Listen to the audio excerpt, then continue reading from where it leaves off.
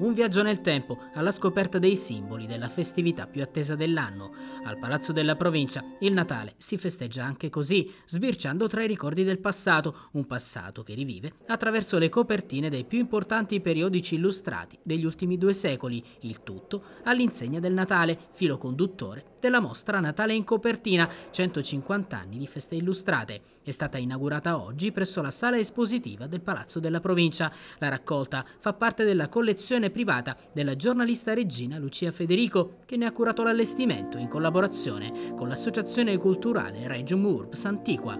Promossa dal presidente Raff e dall'assessore alla cultura Lamberti, la mostra resterà aperta per tutto il periodo natalizio, a fare da colonna sonora all'evento la musica del quartetto del liceo musicale di Cinque Frondi.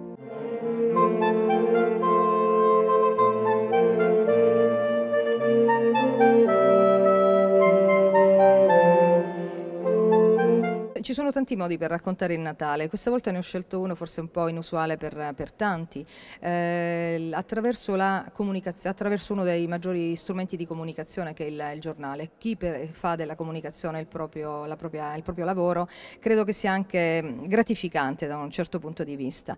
Eh, in, in esposizione ci sono quasi 400 edizioni di Natale e fine anno dei maggiori giornali illustrati sia italiani che esteri.